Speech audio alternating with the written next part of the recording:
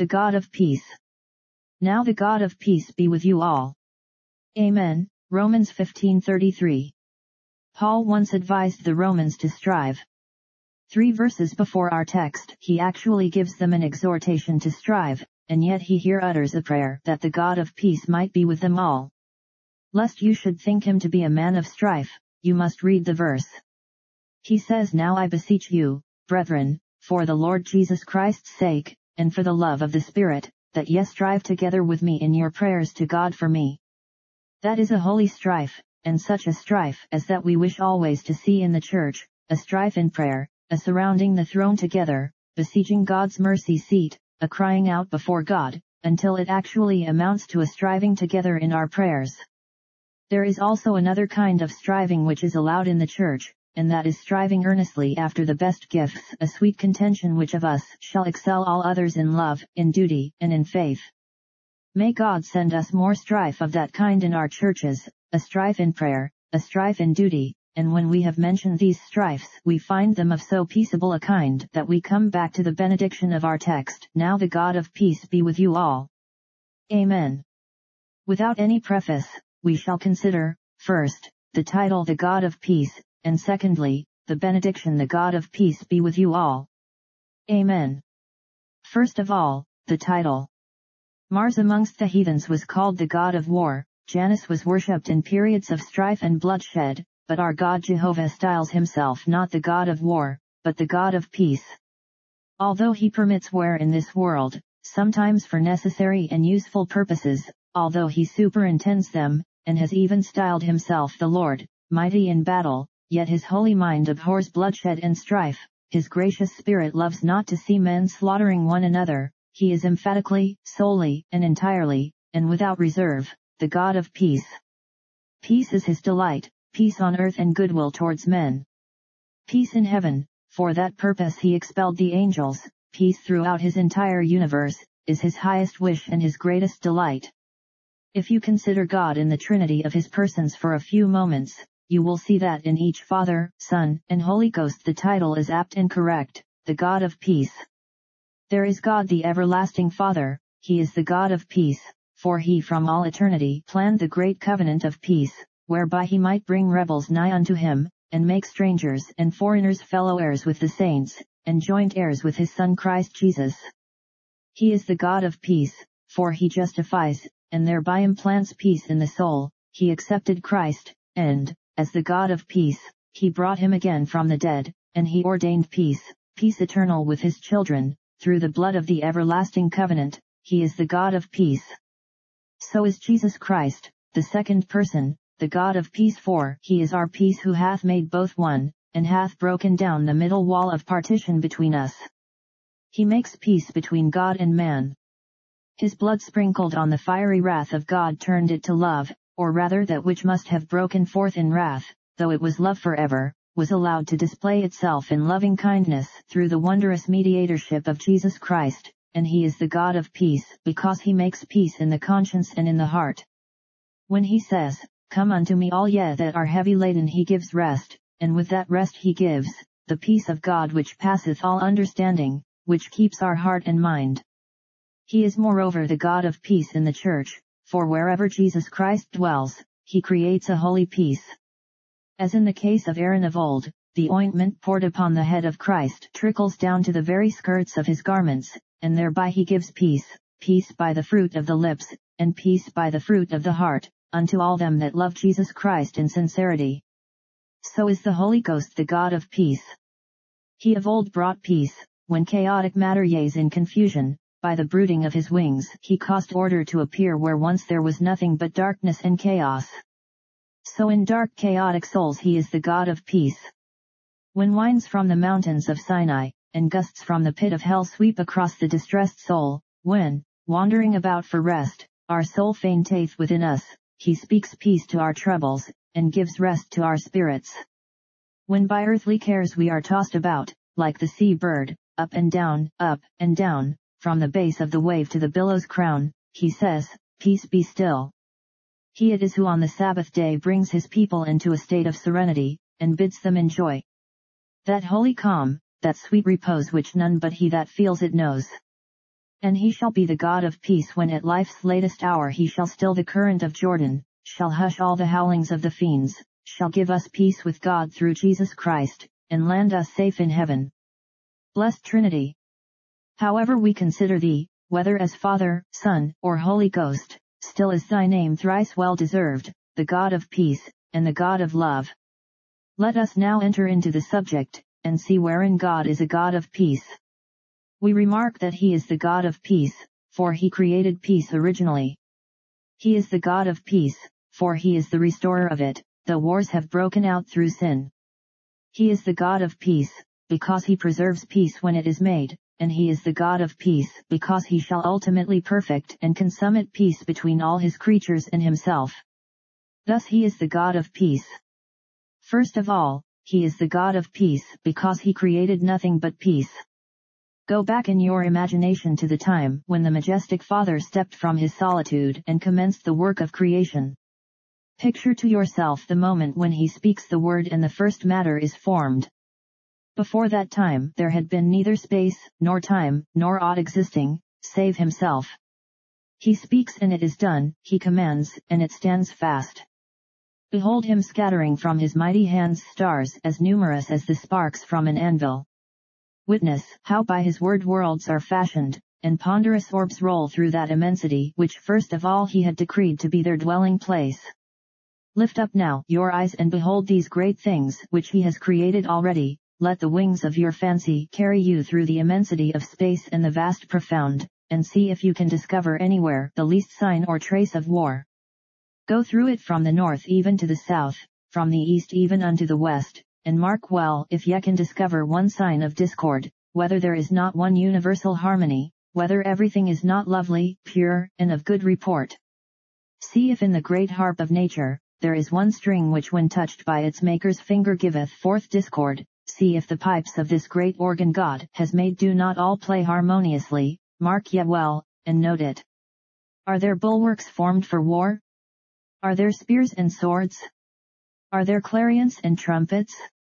Hath God created any material with which to destroy his creatures and desolate his realms?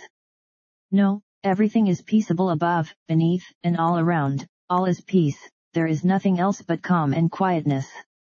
Hark when he makes the angels. He speaks winged seraphs fly abroad, and cherubs flash through the air on wings of fire. He speaks, and multitudes of angels in their various hierarchies are brought forth, while Jesus Christ as a mighty prince of angels is decreed to be their head. Is there now in any one of those angels one sign of sorrow? When God made them did he make one of them to be his enemy? Did he fashion one of them with the least implacability or ill will within his bosom? Ask the shining cohorts, and they tell you, we were not made for war, but for peace. He has not fashioned us spirits of battle, but spirits of love, and joy, and quietness. And if they sinned, he made them not to sin. They did so, they brought woe into the world of their own accord. God created no war. The evil angel brought it first. Left to his free will, he fell. The elect angels being confirmed by grace, stood fast and firm, but God was not the author of any war, or any strife. Satan of himself conceived the rebellion, but God was not the author of it. He may from all eternity have foreseen it, and it may even be said in some sense that he ordained it to manifest his justice and his glory, and to show his mercy and sovereignty in redeeming man, but God had no hand in it whatsoever. The eternal abjures war, he was not the author of it. Satan led the van, that morning star who sang together with the rest, fell of himself, God was not the author of his confusion, but the author of eternal and blessed order. Look, to it God in the creation of this world. Go into the Garden of Eden walk up and down its bowers, recline under its trees, and partake of its fruits. Roam through the entire world. Sit down by the seashore, or stretch yourself upon the mountain. Do you see the least sign of war? Nothing like it. There is nothing of tumult and of noise no preparation of destruction. See Adam and Eve their days are perpetual sunshine, their nights are balmy evenings of sweet repose. God has put nothing in their hearts which can disturb them, he has no ill will towards them, but on the contrary, he walks with them in the evening under the trees in the cool of the day. He condescends to talk with his creatures, and hold fellowship with them. He is in no sense whatever the author of the present confusion in this world, that was brought about by our first parents through the temptation of the evil one. God did not create this world for strife. When he first fashioned it, peace, peace, peace, was the universal order of the day. May there come a time when peace once more shall be restored to this great earth, and tranquility to this world. Do you not observe that God is the God of peace because he created it originally? When he pronounced his creation very good, it was entirely without the slightest exception, a peaceful creation. God is the God of peace. But, secondly, he is the God of peace because he restores it. Nothing shows a man to be much fonder of peace than when he seeks to make peace between others, or, when others have offended him, he endeavors to make peace between himself and them. If I should be able at all times to maintain peace with myself, and should never provoke a quarrel, I should of course be considered a peaceful spirit, but if other persons choose to quarrel and disagree with me, and I desire and purposely set to work to bring about a reconciliation, then everyone says I am a man of peace. Blessed are the peacemakers, for they are the children of God. God is the great peacemaker, and thus he is indeed the God of peace. When Satan fell, there was war in heaven. God made peace there, for he smote Satan and cast him and all his rebel hosts into eternal fire. He made peace by his might and power and majesty, for he drove him out of heaven, and expelled him by his flaming brand, never again to pollute the sacred floor of bliss, and never more to endanger paradise by misleading his peers in heaven. So he made peace in heaven by his power. But when man fell, God made peace not by his power, but by his mercy. Man transgresses. Poor man. Mark how God goes after him to make peace with him. Adam, where art thou? Adam never said God, where art thou? But God came after Adam, and he seemed to say with a voice of affection and pity, Adam, Poor Adam, where art thou? Hast thou become a god? The evil spirit said thou wouldst be a god, art thou so? Where art thou now poor Adam? Thou wast once in holiness and perfection, where art thou now?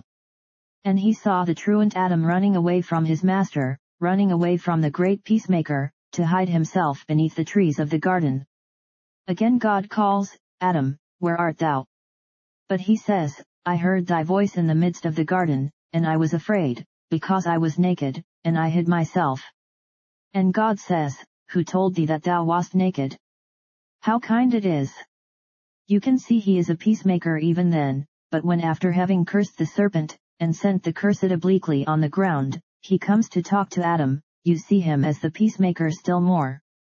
I will, said he, put enmity between thee and the woman, between thy seed and her seed. It shall bruise thy head, and thou shalt bruise his heel. There he was making peace through the blood of the cross.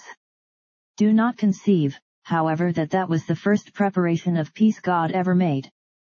That was the first display of it, but he had been making peace from all eternity.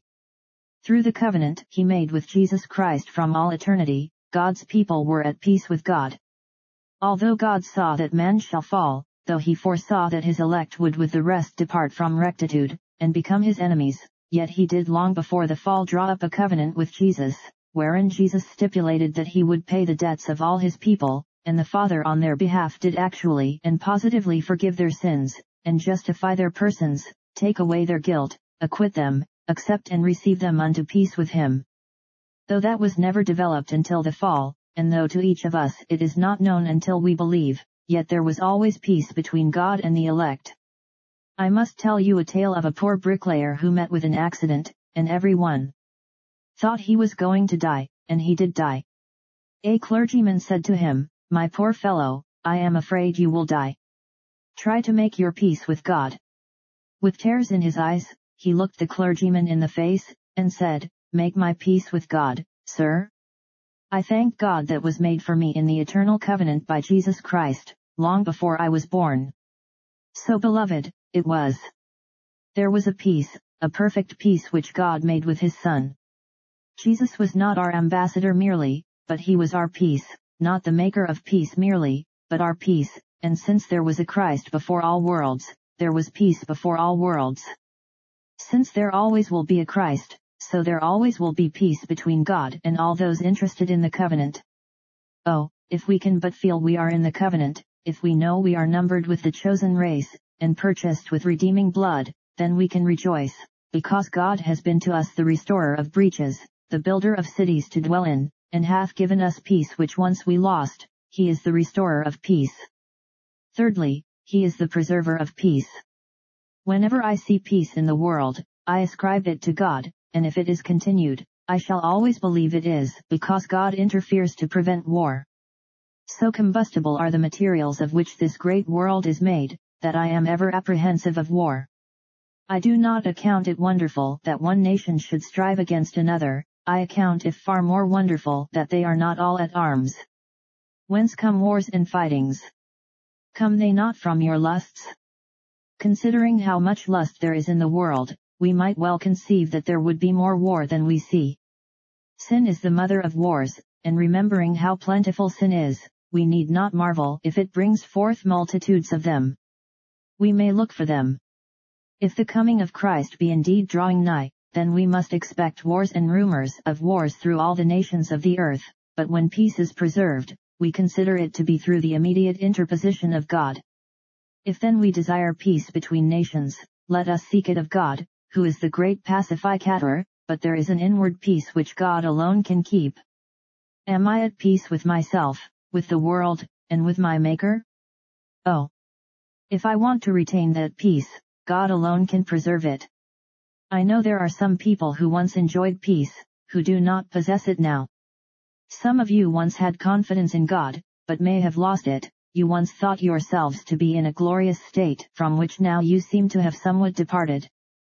Beloved, no one can maintain peace in the heart but God, as he is the only one who can put it there. Some people talk about doubts and fears and seem to think they are very allowable. I have heard some say, well a sailor in the sunshine knows his reckoning, and can tell where he is, he has no doubt, but if the sun withdraws, he cannot tell his longitude and latitude, and he knows not where he is. That is not however a fair description of faith. Always wanting the sun is wanting to live by sight, but living by faith is to say, I cannot tell my longitude and my latitude, but I know the captain is at the helm, and I will trust him everywhere. But still you cannot keep in that peaceful state of mind unless you have God in the vessel to help you to smile at the storm. We can be peaceful at times, but if God goes away, how we begin quarreling with ourselves. God alone can preserve peace. Backslider. Hast thou lost it? Go and seek it again of God. Christian. Is thy peace marred? Go to God, and he can say to every doubt, tie down doubt, and to every fear, begone. He can speak to every wind that can blow across thy soul, and can say, Peace, be still, for he is the God of peace, since he preserves it. Trust in him. Fourthly, God is the God of peace, because he shall perfect and consummate it at last. There is war in the world now, there is an evil spirit walking to and fro, a restless being, eager, like a lion to devour, walking through dry places, seeking rest, and finding none, and there are men bewitched by that evil spirit, who are at war with God, and at war with one another, but there is a time coming let us wait a little longer, when there shall be peace on earth and peace throughout all God's dominions. In a few more years, we do look for a lasting and perpetual peace on earth. Perhaps, tomorrow, Jesus Christ, the Son of God will come again, without a sin offering unto salvation. We know not either the day or the hour wherein the Son of Man shall come, but by and by he shall descend from heaven with a shout, and with the noise of a trumpet, he shall come, but not as once he came, a lowly and humble man, but a glorious and exalted monarch. Then he will cause wars to cease. From that day forth and forever they will hang the useless helm on high, and study war no more, the lion shall lie down with the kid and eat straw like the ox, the cockatrice and the serpent shall lose their hurtful powers, the weaned child shall lead the lion and the leopard, each one by his beard with his little hands. The day is coming, and that speedily, when there shall not be found on earth a single man who hates his brother, but when each one shall find in every other a brother and a friend, and we shall be able to say, as the old poet did, but in a larger sense, I know not that there is one Englishman alive with whom I am one jot at odds more than the infant that is born tonight? We shall all be united, rationalities will be leveled, because made into one, and the Lord Jesus Christ shall be King of the entire earth. After that time shall come the consummation of peace, when the last great day shall have passed away, and the righteous have been severed from the wicked, when the monster battle of Armageddon shall have been fought and won when all the righteous shall have been gathered into heaven, and the lost sent down to hell. Where will be the room for the battle then? Look at the foemen, bruised and mangled in the pit, perpetually howling, the victims of God's vengeance, there is no fear of war from them. There is Satan himself, crestfallen, bruised battered, slain, his head is broken, there he lies despoiled a king without his crown, there can be no fear of war from him, and mark the angels, who were once under his supremacy, can they arise? No, they writhe in tortures, and bite their iron bands in misery, they have no power to lift a lance against the God of heaven, and look on sinful man, condemned for his sin to dwell with those fallen being, can he again provoke his Maker? Will he again blaspheme? Can he oppose the gospel? No, injured in dungeons of hot iron, there he is, an abject, ruined spirit, ten thousand times ten thousand lost and perished sinners are there, but could all unite in solemn league and covenant to break the bands of death and sever the laws of justice, he that sitteth in the heavens would laugh at them, the Lord would have them in derision.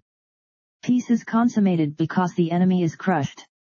They look up yonder, there is no fear of war from those bright spirits, the angels cannot fall now, their period of probation is past forever, a second Satan shall never drag with him a third part of the stars of heaven, no angel will totter any more, and the ransomed spirits, blood-bought, and washed in the fountain of Jesus' blood, will never fall again.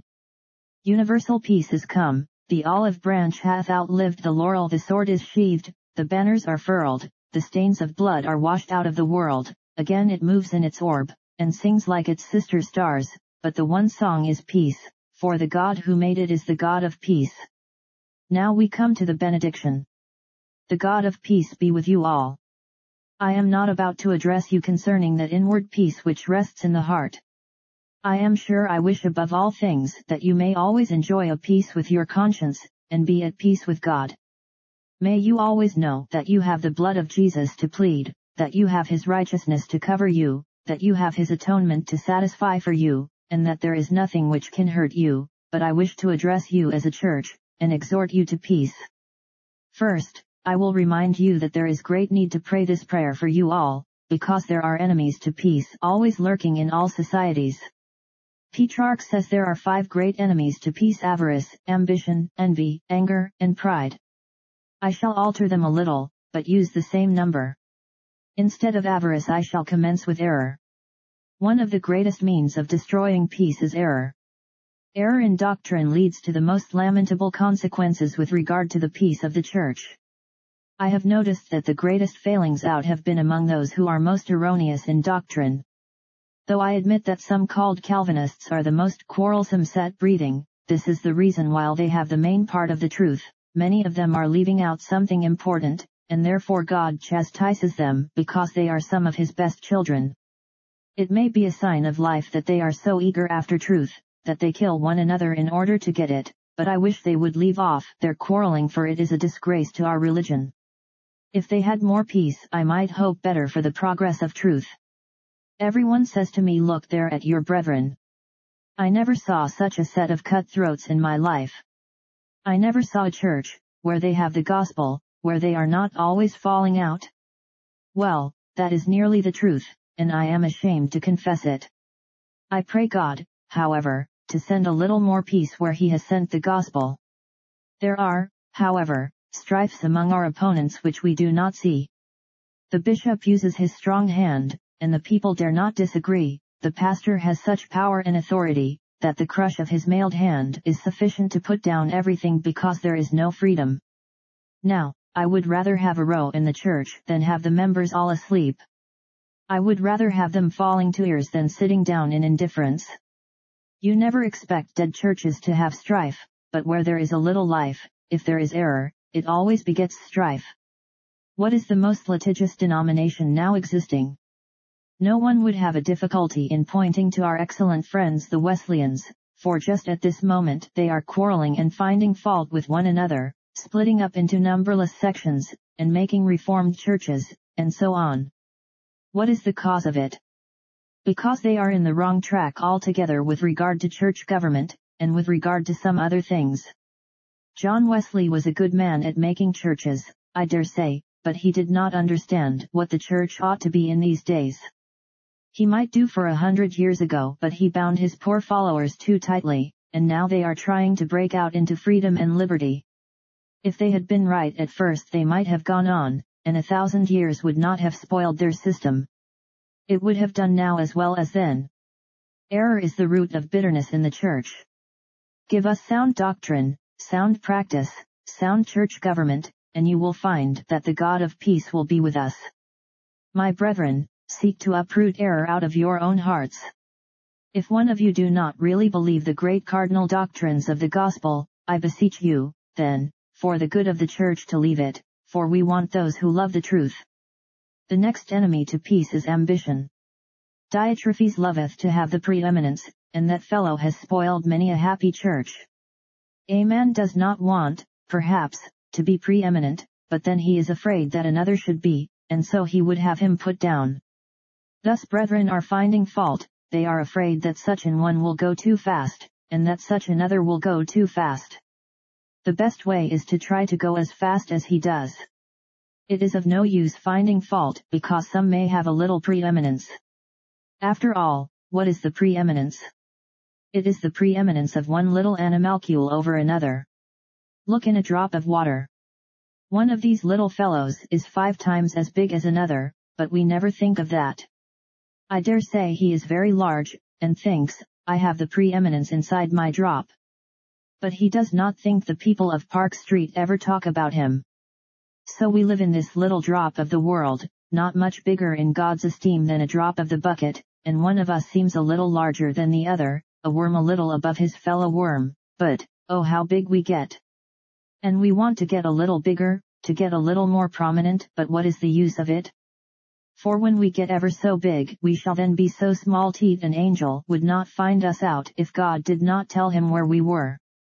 Whoever heard up in heaven anything about emperors and kings? Small tiny insects God can see the animalculae, therefore he can see us, but if he had not an eye to see the most minute he would never discover us. Oh may we never get ambition in this church. The best ambition is, who shall be the servant of all.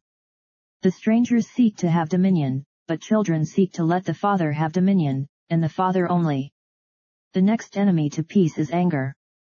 There are some individuals in the world that cannot help getting angry very quickly. They grow on a sudden very wrathful, while others who are not passionate, who take a longer time to be angry, are fearful enough when they do speak.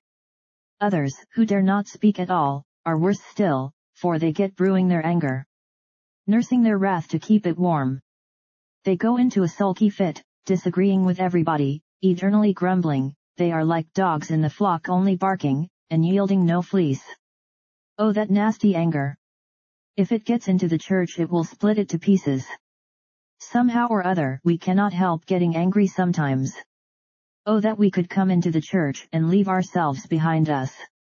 There is nobody I should like to run away from half so much as from myself. Try, beloved, to curb your tempers, and when you do not exactly see with another brother, do not think it necessary to knock him on the eyes to make him see, that is the worst thing in all the world to do, he will not see any the better for it, for the man convinced against his will is of the same opinion still. Then envy is another fearful evil.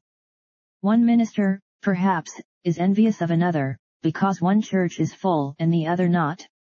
How can teachers agree in the Sunday school if there is any envy there? How can church members agree if envy creeps in?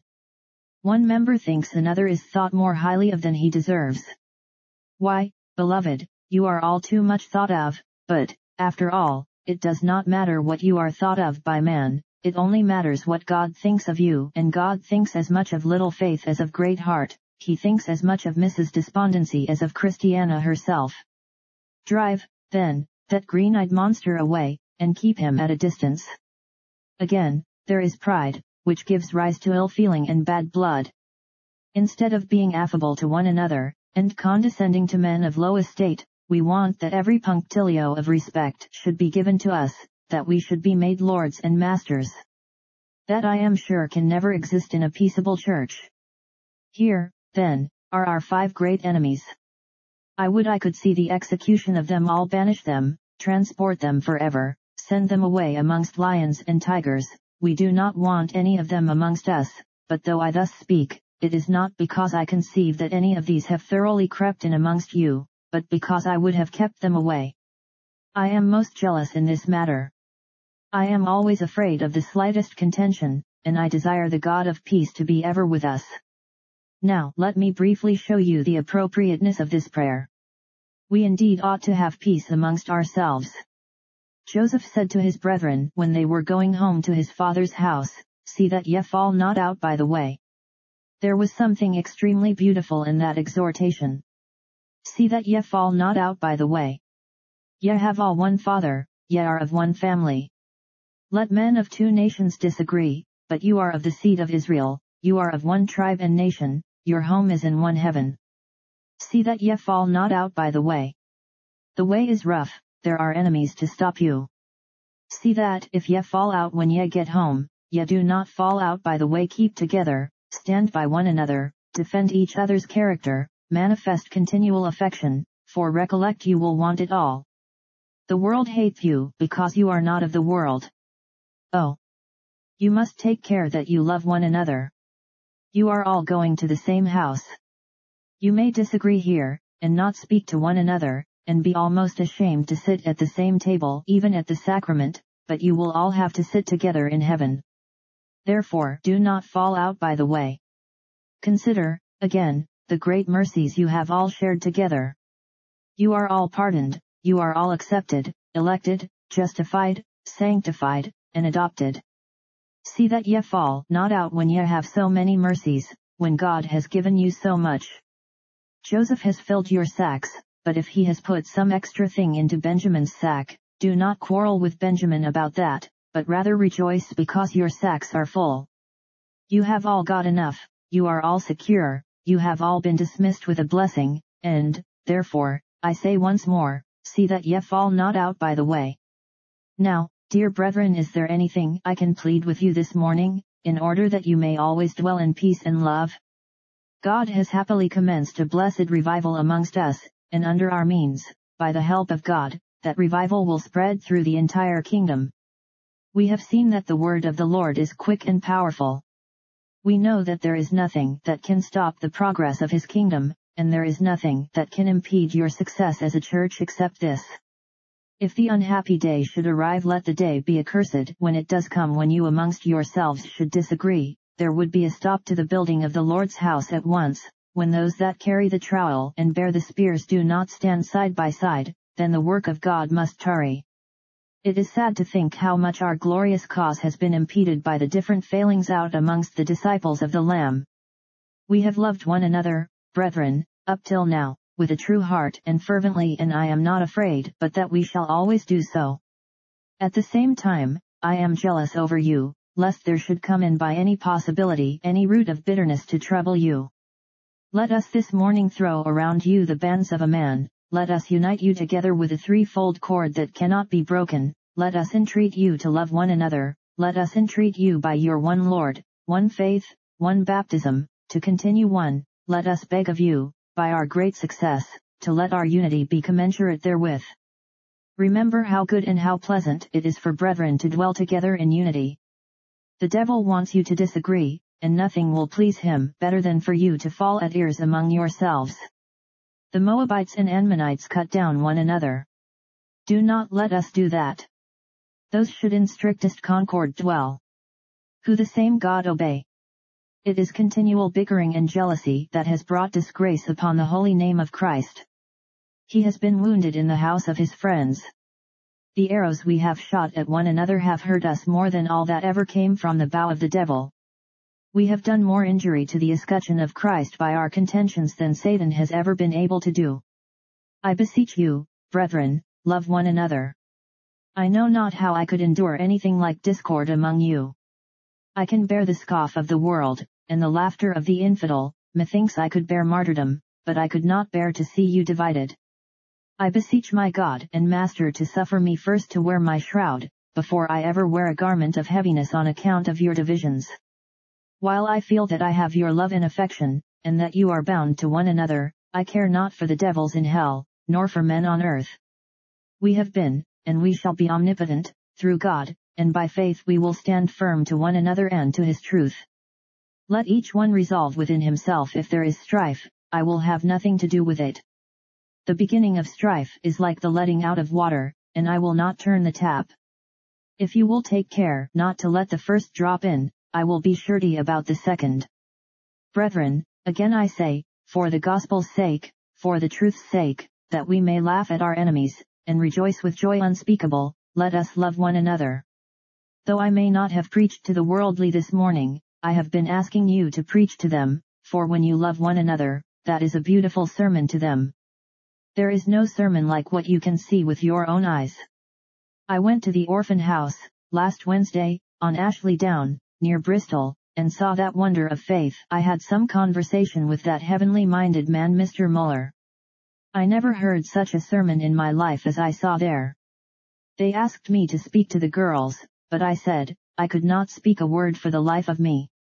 I had been crying all the while to think how God had heard this dear man's prayer, and how all those 300 children had been fed by my father through the prayer of faith. Whatever is wanted, comes without annual subscriptions, without asking anything, simply from the hand of God. When I found that it was all correct that I had heard, I was like the Queen of Sheba, and I had no heart left in me. I could only stand and look at those children, and think, did my heavenly Father feed them, and would he not feed me and all his family? Speak to them, they had spoken to me quite enough, though they had not said a word speak to them. I thought myself ten thousand fools that I did not believe God better. Here am I, I cannot trust him day by day, but this good man can trust him for three hundred children. When he has not a sixpence in hand he never fears. I know God, he might say, too well to doubt him. I tell my God, thou knowest what I want today to keep these children, and I have not anything. My faith never wavers, and my supply always comes. Simply by asking of God in this way, he has raised, I believe, 17,000 pounds towards the erection of a new orphan house. When I consider that, sometimes think we will try the power of faith here, and see if we should not get sufficient funds whereby to erect a place to hold the people that crowd to hear the word of God. Then we may have a tabernacle of faith as well as an orphan house of faith. God send us that, and to him shall be all the glory.